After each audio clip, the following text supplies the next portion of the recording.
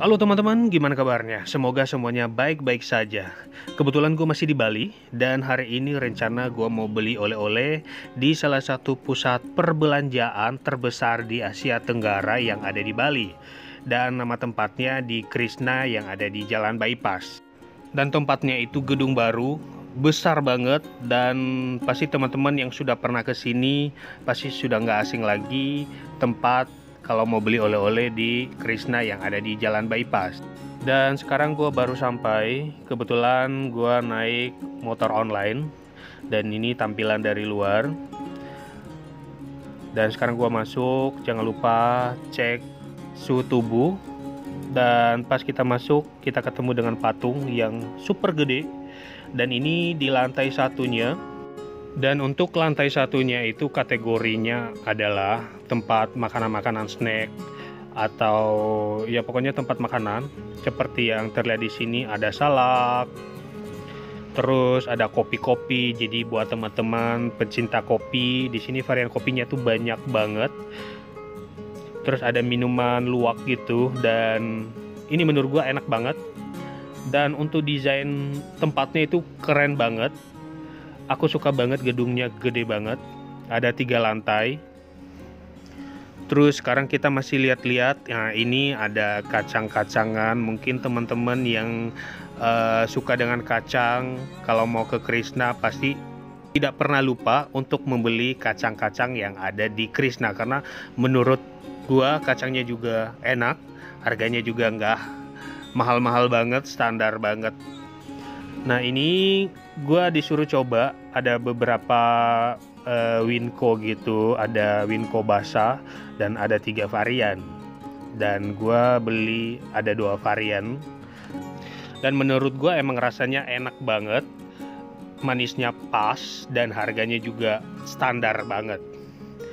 Dan sekarang gue mau nyari pie susu dan pasti buat teman-teman sudah nggak asing dengan pie susu yang ada di Krishna. Di sini variannya banyak banget. Tapi pada saat gue ketemu rak yang seharusnya biasanya kalau gue datang ke sini tempat pie susu dan ternyata raknya kosong. Cuman ada beberapa varian aja yang ada di rak yang khusus pie susu dan seperti terlihat di video ini, ini ada dua rasa yang ada di belakang ini yang lenteran rak-raknya ini Terus ini ada pie batu riti. Ini enak banget. Terus ini ada dodolnya juga. Menurut gue juga enak banget. Gue suka banget sama dodolnya. Dan variannya banyak banget di sini. Terus lanjut kita sambil lihat-lihat ada kacang-kacangan terus di lantai satu ini ada baju-bajunya juga ada kaos-kaos Balinya juga. Dan harganya menurut gua juga worth it. Dan seperti terlihat di sini ini kaosnya juga cakep banget variannya varian warnanya juga banyak. Terus ada kayak singlet gitu. Nah ini favorit gua banget singletnya cuman gua udah pernah beli singlet yang sama. Terus lanjut kita lihat keripik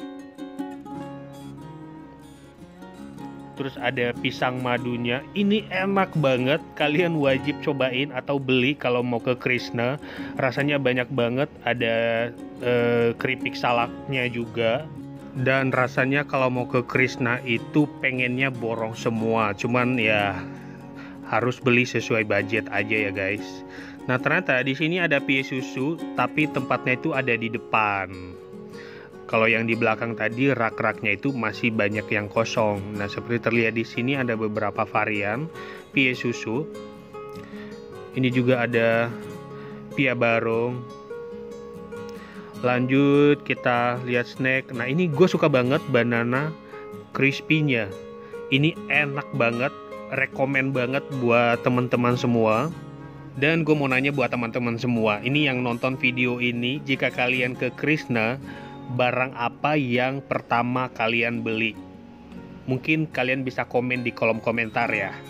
Lanjut, sekarang kita lihat di lantai duanya. Kira-kira lantai dua itu ada apa aja? Dan ternyata lantai dua itu isinya souvenir gitu. Ini macam-macam juga souvenir yang bisa buat di rumah, di kamar, dan seperti terlihat di sini banyak uh, souvenir yang menurut gue juga keren-keren banget. Terus ada baju-bajunya juga singlet-singlet Balinya gitu dan untuk singlet ini gue udah pernah beli dengan warna yang berbeda. Lanjut ini ada aromaterapi dan buat teman-teman yang suka dengan wangi-wangi aromaterapi buat di kamar, di ruangan atau di rumah ini variannya banyak banget yang ada di Krishna dan harganya murah-murah banget dan kita masih di lantai 2 posisinya di lantai dua mari kita lihat ada apa lagi di lantai dua. Ini ada macam-macam sendal lucu-lucu warnanya juga cakep-cakep dan pilihannya banyak. Nah ini buat mungkin buat ponakan buat adik perempuannya juga bisa buat oleh-oleh kalau habis dari Bali. Nah ini ada sepatunya juga lucu-lucu warnanya ngejreng-ngejreng banget Nah ini sendalnya warnanya bisa dibilang colorful banget, macam-macam semua kayaknya ada warnanya.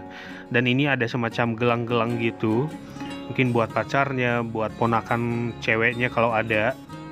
Ini pilihannya banyak dan rasanya pengen borong semua buat keluarga, buat temen atau buat ponakan. Dan ini ada salah satu buat olahraga ini kalau nggak salah ya, buat olahraga. Lanjut ada kayak sendok-sendok gitu. Keren-keren souvenirnya di sini. Warnanya juga bagus-bagus banget. Ini sendok-sendok ini jadi bu bisa buat oleh-oleh lah buat tetangga. Terus yang paling gue suka ada ukiran tangan gitu telapak tangan buat garuk-garuk. Jadi buat kalau punggung kita gatel mungkin kita bisa pakai ini buat garuk-garuk. Dan ini salah satu yang gue suka gue udah beli lumayan banyak buat di kamar juga. Dan ini ada souvenirnya ini juga gue udah punya ada beberapa. Ini cakep-cakep warnanya bervariasi banget. Lanjut ini yang buat di kamar. Di kamar gue tuh banyak banget yang kayak gini. Gue suka aja jadi lebih berwarna aja ala-ala Bali gitu guys Lanjut, kira-kira ada apa lagi di lantai dua ini? Intinya di lantai dua ini tempat souvenir gitu, jadi macem-macem semuanya lengkap souvenir yang ada di lantai dua. Jadi saran gua kalau mau ke Bali terus mau beli oleh-oleh, alangkah baiknya langsung kunjungi Krishna yang ada di bypass karena tempatnya juga uh, luas banget, gede banget gedungnya dan semuanya serba lengkap dan harganya murah-murah banget. Lanjut masih di lantai dua, kira-kira ada souvenir apa lagi yang ada di sini? Nah, seperti terlihat di video ini, pokoknya di sini souvenirnya lengkap banget dan ini ada gelang-gelang gitu banyak banget, macam-macam juga bervariasi gelangnya. Dan ini khusus cewek. Jadi buat teman-teman cewek atau buat teman-teman kantor yang cewek ini bisalah buat oleh-oleh. Kalau habis dari Bali mungkin kita bisa beli buat mereka. Harganya juga murah banget. Jadi di sini tuh terlengkap termurah terbesar di Asia Tenggara yang ada di Bali. Dan ini gelangnya menurut gue juga cakep. Dan harganya cuma 35.000 murah kan? Dan ini yang paling gue suka. Ini bisa di kamar atau di ruang tamu tempat-tempat yang ada rak-rak atau kacanya gitu jadi bisa taruh di situ. Ini keren banget. Terus yang paling belakang ini ada tas-tas. Ini variannya juga banyak banget modelnya semua ada. Dan ini ada souvenir sandal bisa ditaruh di kulkas ditempelin di kulkas. Terus ini gue suka banget. Jadi bisa buat di ruang tamu gitu biar kelihatan lebih kece aja sih lanjut ini ada kalung-kalung gitu. Ini buat cewek-cewek juga. Ini banyak banget dan harganya super super murah banget. Dan rasanya pengen borong semua buat teman-teman kantor atau kerabat-kerabat dan buat ponakan juga. Karena melihat gelang ini dengan harga yang murah rasanya pengen habisin semua pengen bawa pulang. Karena modelnya bagus-bagus dan ini masih di lantai dua. Sebentar lagi kita lihat ada apa di lantai tiga. Dan ini semacam kayak body butter gitu. Kayak minyak-minyak zaitun gitu. Semuanya lengkap. Ada sabun-sabun juga. Pokoknya lengkap semua yang ada di sini di lantai dua. Ini posisinya masih di lantai dua. Lanjut kita ke lantai 3 Pasti pada penasaran dong ada apa di lantai 3 Yo kita di lantai 3 dan ini gue baru sampai di lantai 3 setelah naik eskalator. Dan di lantai 3 itu semuanya pakaian, baju-baju, kain-kain gitu. Mari kita intip satu persatu walaupun nggak semua.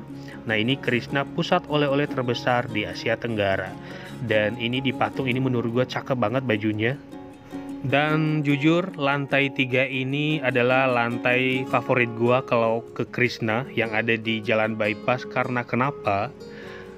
Karena di sini gua suka hunting celana pendek karena murah, bagus.